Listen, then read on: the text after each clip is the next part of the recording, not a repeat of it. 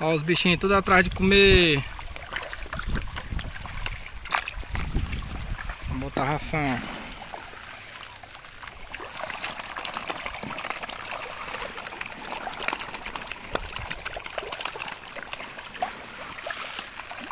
Isso aqui estão com três meses. Tá na faixa de 100 gramas.